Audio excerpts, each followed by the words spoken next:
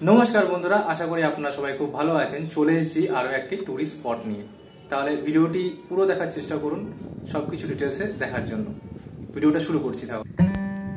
আজকের এই এপিসোডে আপনাদের দেখাবো হুগলি জেলার সোমরা বাজারের সুখরিয়া গ্রামে অবস্থিত সবুজদ্বীপ জেটিঘাট এবং তার অনতি দূরেই রয়েছে হুগলি নদী এবং বেহুলা নদীর সঙ্গমস্থল।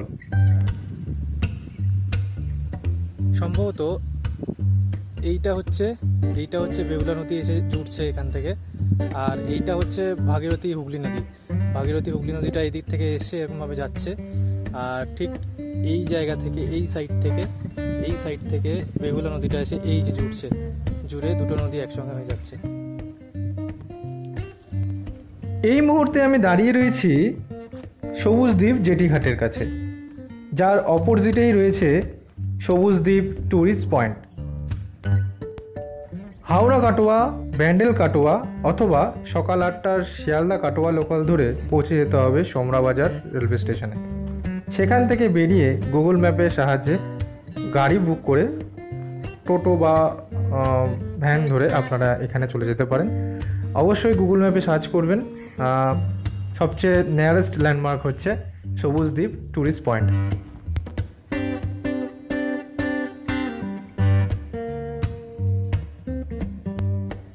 সুন্দর প্রাকৃতিক পরিবেশে পরিবেষ্টিত এই জায়গাটি প্রকৃতি প্রেমীদের কাছে কিন্তু আদর্শ জায়গা।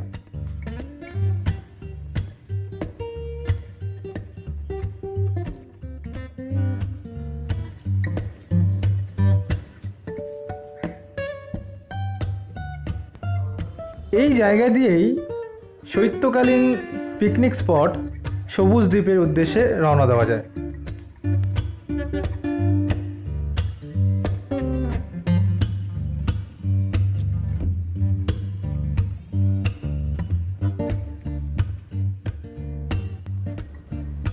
এটি হচ্ছে এই জায়গার স্রোতমান হুগলি নদী।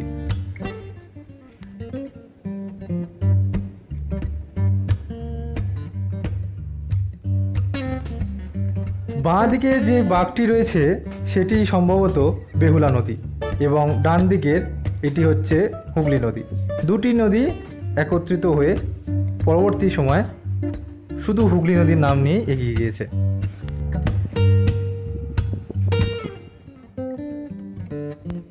তবে এখানে বলে রাখা দরকার, বেহুলা নদী বাংলার বিভিন্ন মৃতপ্রায় নদীগুলির মধ্যে একটি অন্যতম হিসাবে গণ্য করা হয়।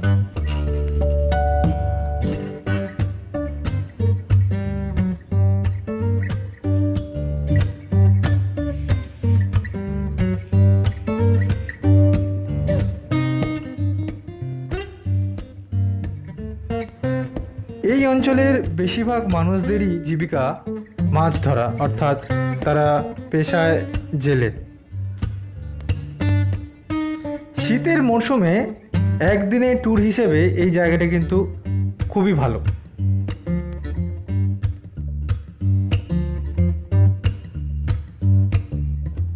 ভিডিওটি কেমন লাগল অবশ্যই কমেন্ট করে জানান এবং সবাই খুব ভালো থাকুন, সুস্থ থাকুন, আর এইভাবে দেখতে থাকুন। ধন্যবাদ।